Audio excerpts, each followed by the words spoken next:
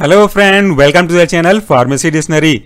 Recently we have studied about different route of drug administration and under the route of drug administration we have already studied about the transdermal route of drug administration.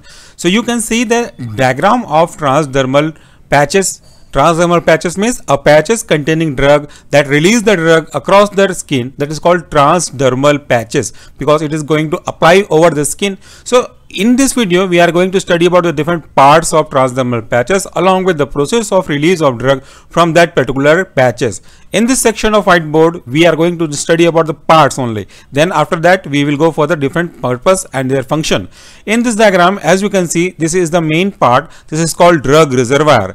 Drug reservoir means a place where drug is to be kept for the release so that the drug can cross the skin and produce a desirable effect at a particular or restricted part of the skin. Now second part is outer covering. This outer covering is used to stop the release of drug backflow actually we can say so that it will not allow the drug to release from the backside that will release the drug only as per its proper route of elimination or we can say route of release so this is drug the drug which is a chemical agent which is used for any purpose like solving any problem or like treatment of any lesion. So that drug will release from this matrix after some time after application of these patches over the skin.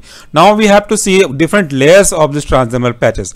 The first layer beneath this drug reservoir is called porous membrane. That means a membrane which is having pores. So this pores allows the movement or release of the drug from the drug reservoir towards the skin side. And just beneath this porous membrane there is the adhesive. Adhesive means that will help to stick that patches towards the skin so that will be stick on the particular part of the skin and that will not be removed from the skin.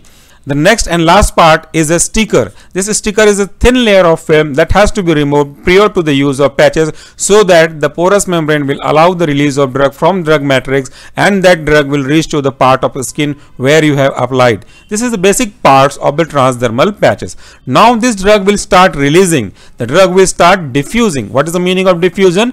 Diffusion is a process of movement of molecule from higher concentration towards the lower concentration. So in this diagram as you can see in the drug reservoir the concentration of drug is higher as compared to skin at which the patches is applied. So the drug will release from this higher concentration from the reservoir towards the low concentration of that affected skin that is simply known as the diffusion of drug. So this was a simple explanation of parts. Now we have to see different function or we can say different arrangement of these transdermal patches with the help of a simple animation video. Now this is the drug reservoir. As I have explained you earlier, this drug reservoir is used to keep the drug with itself. It may be any kind of drug like Belladonna in case of mumps or any other disinfectant as in case of Hansaplast. The next one is drug. The drug is an agent which is used for the treatment or cure of any particular problem. If we are applying this drug over the skin, that may be a simple lesion or burn or any other rashes. So that we can apply this transdermal patches and the drug will release from drug reservoir. So the drug will goes to the reservoir side and that will be binded with the reservoir. Whenever there will be a sticking purpose, the drug will start releasing towards the skin side. So the drug is fixed on the drug reservoir and to maintain the drug in the reservoir we need a seizing effect from the back side. So the back layer of the drug reservoir is called outer covering. This outer covering will protect the drug release from backside. That will it will prevent the backflow of drug. The next part is first layer that's called porous membrane as I have told you earlier. This porous membrane is fixed with a adhesive. That adhesive will go to the skin surface and that will allow the drug matrix or drug patches to stick over the skin so that in case of movement that patches will not be removed and that will stick on this on place.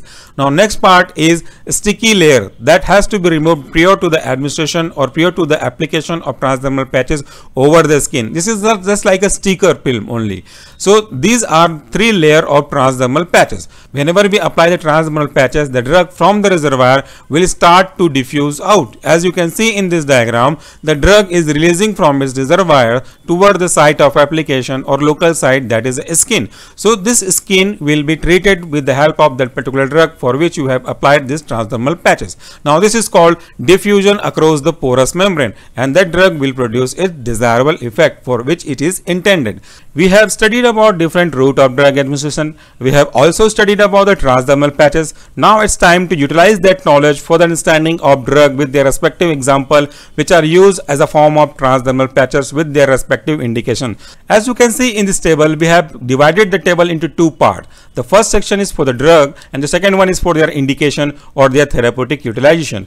Under the drug, first drug is nicotine. You have seen the nicotine, you have seen the use of nicotine in the form of smoking or just for shaving purpose. Nicotine is basically central nervous system stimulant but in case of particular person wanted to stop the smoking then he or she should nicotine transdermal patches that is used for cessation of smoking. So to stop smoking that particular person need to be used nicotine transdermal patches. The next class is fentanyl. This fentanyl is used for the relief of pain specifically the chronic one. Coming to the next one that is a combination of fentanyl plus buprenorphine. This is used for the relief of pain and that particular pain which is obtained from the post-operative procedure. That means after operation the pain can be reduced by utilization of fentanyl plus buprenorphine transdermal patches. Next one is estrogen. This estrogen is used for the maintenance of post-menopausal symptom and that can be used as a transdermal patches.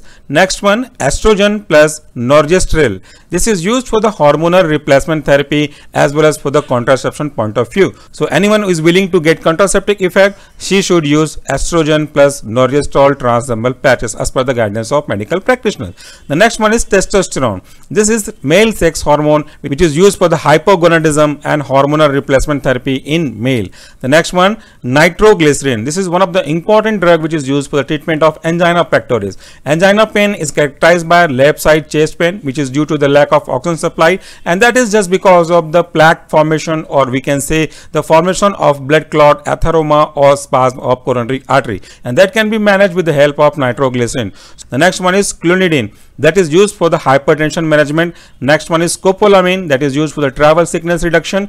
Next one selegiline this is used as an antidepressant. So if any person is having depression so that treatment of that particular depression condition she or he should use selegiline transdermal patches after the consultation of the physician. The last one for this lecture is lidocaine or tetracaine that is example of local anesthetic and which is used for the relief of local dermal analgesic condition or particular anesthesia effect in particular part. So friend that's all for today. Thank you very much for watching this video. Hope such kind of animation is improving your basic knowledge. If yes then please do comment in comment box so that we can understand your queries and we will make more video like this. Thank you very much again. Please do take care of yourself. Thank you.